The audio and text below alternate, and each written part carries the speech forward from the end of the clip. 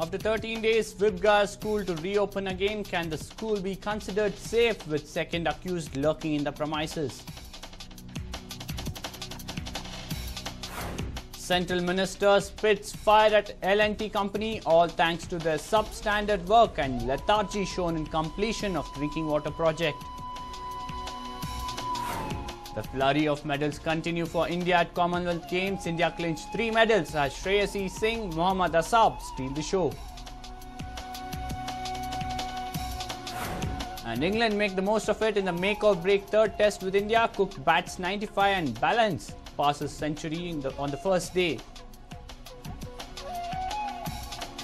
And finally, singer Hariharan mesmerizes Bengaluru with soulful music.